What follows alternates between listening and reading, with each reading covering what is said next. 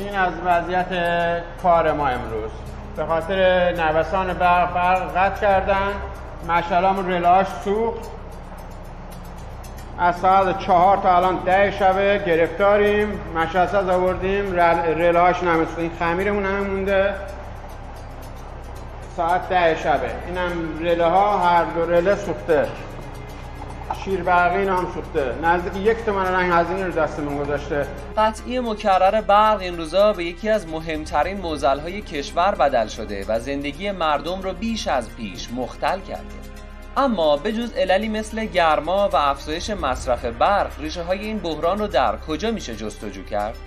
بر اساس اونچه مسئولان میگن توان تولید برق کشور حدود 54 هزار مگاواته اما کشور این روزها به 66 هزار مگاوات برق نیاز داره به بیان ساده 20 درصد تولید فعلی بوده برق داره علت این بوده برق رو میشه در چند موضوع اصلی بیان کرد. یکی از این موضوعات خشکسالیه. از اونجا که حدود 14 درصد از تولید برق کشور به صورت برقاوی انجام میشه خشکسالی و کمبود آب قطعا تولید برق کشور از این روش رو تحت تاثیر قرار میده. موضوع دوم افزایش مصارفی که به دلیل ارزونی برق در ایران به این صنعت تحمیل شده. مثلا به دلیل ارزونی برق فعالیت ماینرها برای تولید رمز ارزها به شدت افزایش پیدا کرده و حتی اگه به گفته مسئولان ماینرها فقط دو درصد برق کشور رو هم مصرف کنن همین دو درصد هم در پیک مصرف رقم بالایی به شمار میره و باعث قطعی برق میشه. موضوع سوم اما هدر رفتن انرژی در مسیر تولید و توزیع برقه برای درک بهتر باید توجه کرد که توان اسمی تولید برق در ایران 85 هزار مگاواته.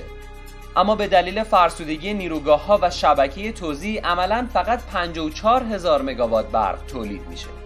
موضوع چهارم همین که وزارت نیرو نتونسته بر اساس پیش های انجام شده نیروگاه های جدید بسازه و به ظرفیت تولید برق کشور اضافه کنه.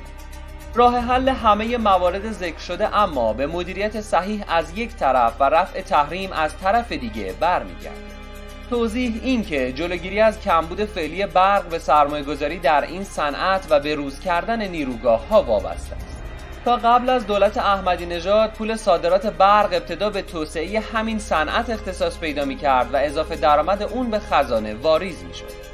اما زمان دولت احمدی نژاد این رویه تغییر کرد و این پول ابتدا برای تامین یارانه اختصاص پیدا کرد و سپس باقی مانده اون در صورت وجود به توسعه صنعت برق رسید. از طرف دیگه یکی از مهمترین علل هدر رفت انرژی در شبکه تولید و توزیع برق فرسودگی تجهیزاته روز کردن این تجهیزات هم به دلیل تحریم ایران و عدم دسترسی به تجهیزات و فناوری های روز دنیا عملا امکان پذیر نیست. حتی دسترسی به منابع مالی برای بروز کردن این تجهیزات هم نیازمند رفع تحریم